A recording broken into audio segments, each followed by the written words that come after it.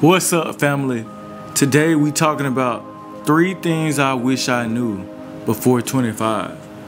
Man, I'm 25 years old in 10 months. My birthday is in December. I'm about to turn 26, and I just feel like it would not be beneficial to y'all if I didn't tell y'all three things that I wish I knew. So the first thing is don't chase women, men, or relationships. Because this is for everybody. This is not just for men. Don't chase men, relationships, or women. Don't chase those things.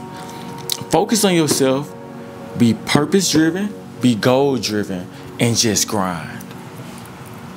A lot of us waste our primes worried about a relationship and we can't get ahead. Imagine if you had a, ch- a chance to go out of town on a job or a career opportunity to go out of state, to go cross country, and you passed it down all because you didn't want to leave your boyfriend, all because you didn't want to leave your girlfriend.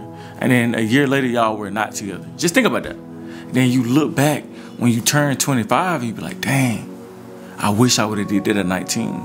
But you blew that opportunity because of that relationship. I always remember what's for you is gonna be for you. So if you take that job cross state, cross country, if that person is meant for you, y'all will make it work. I promise. If it's not meant for you, it won't happen. But you never, ever, ever stop your light to satisfy someone else. You never do that under any circumstance. Don't do that. So I just feel like that's our number one thing that we, you know, ruin ourselves on is chasing people. And then we mess up all of our prime years. And we really don't figure out these things until we've been screwed over multiple times. Multiple times.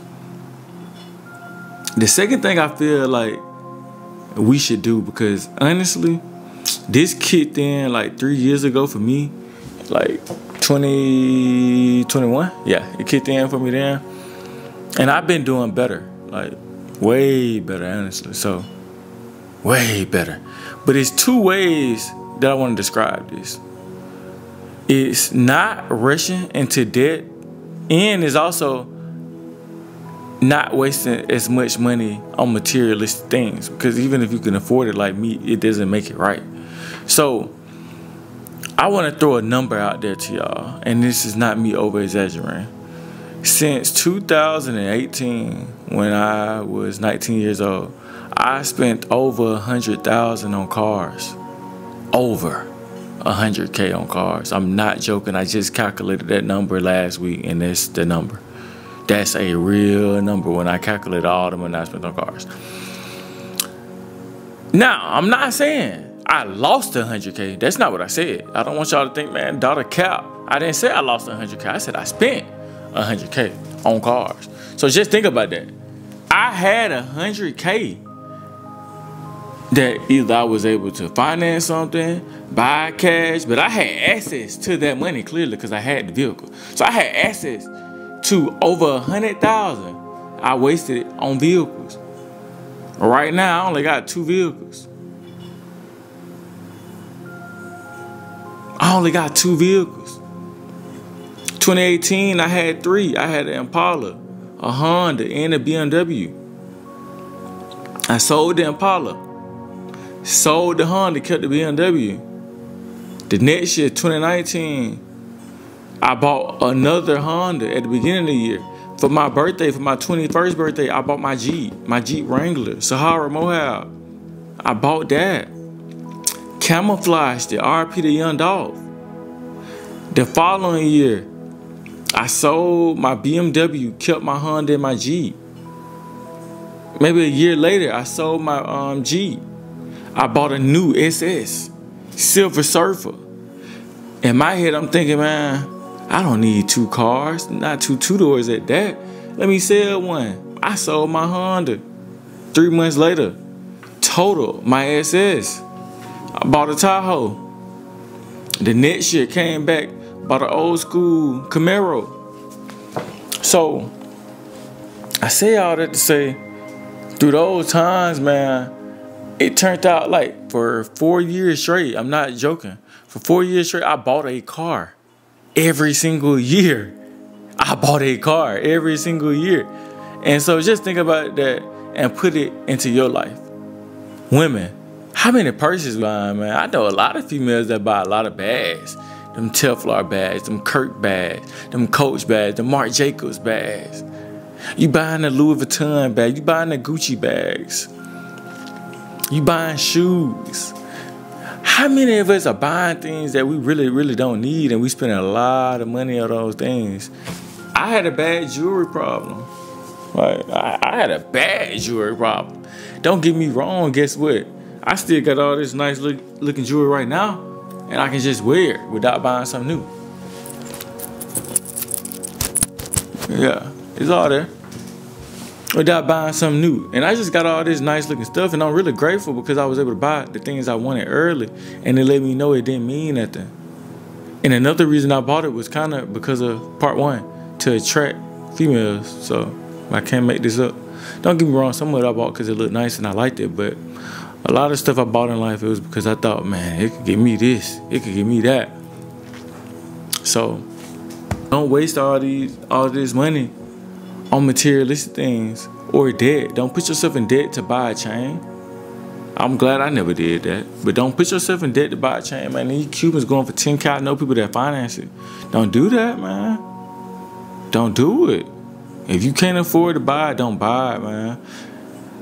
If you need a car, because you know, we all gotta be in debt. I'm not gonna joke. And not everybody's not fortunate. So sometimes we gotta finance something. Don't finance something just because you can afford it though. Finance what you need. So if you can afford a new 2024 Toyota Camry, why not go get the 2017? Why spend 35 on a new one? You can get the 2017 15K. It's still getting you to point A, point B, and that note is gonna be way cheaper. That 2017 note gonna range 200 300. That 2024 note gonna range 500 to 600 plus the insurance. And insurance gonna be through the roof. Just think about that. Just think about that. I know we care about what others think, but we need to stop. Lock in. Lock in. When we grow older, I promise you, none of this stuff is gonna matter. Just stay focused. Stay focused right now. Remember these things. I'm not gonna talk y'all ear off because I've been on that topic for a while because I I really like that topic not blowing a lot of money on materialistic things, and not putting yourself in debt, and not blowing your money on cars, which is still a materialistic thing. Third, and the final thing for this part one of things I knew before 25, and again, this is for the people. I promise you, I did not have this problem. Because if you know me, you know I didn't do it. But I tell you, in another light, what my problem was though. Stop partying so much. What are we celebrating?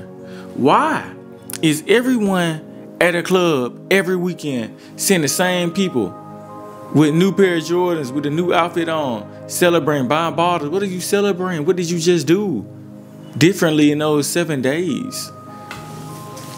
That you spending $400 in the club. Just calculate that for a second, man. If you spend $400 in the club, $300 in the club, $200 in the club for 52 weeks, let's just do 200 to be generous. $200 in the club, which most people spend, and they don't think it's bad, and they do that every week. That's over $10,000 you could have saved. Just at 200. That's over 10K that you could have saved. Just think about that because you don't ever think about it. And that's not including your outfits. That's not including the two hundred dollar shoes you buy. Some of y'all we went a designer to the club, so that's not including your designer. But just off your expenses at the club, you could have saved over ten thousand dollars. We gotta cut that down, man. We really do. Me personally, I don't club because I don't like the I just don't like the aspect of I go out every now and then if it's to celebrate something like I said, it got to be a reason though. I just won't be bored and say, let me go to a club. I promise you that's not my scene. I'll go to a restaurant, sit at a bar, go to a sports bar or something. But I go to a Hawks game, NFL game, baseball game. That's my lane. Go to a nice high-end upscale restaurant. Might go to a museum. But again, I'm not shitting on nobody. Like that's y'all lane. And that's okay. Everybody has a lane. So I do have one bar that no one knows about. It's real, real nice, real, real laid back that I go to, but it's still not a club. So I, I just don't like the club scene, me personally. That bar closes at like 12. It's not open to 2. Bye. Like clubs close at 2, I'm already at home. I ain't gonna lie to you. I love my life, man. I'm not gonna lie.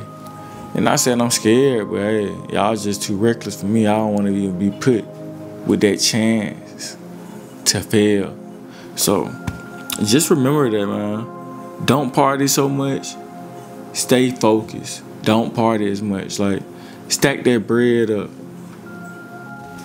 Don't chase the men, women, and relationships. If you got the opportunity to grow and go, go.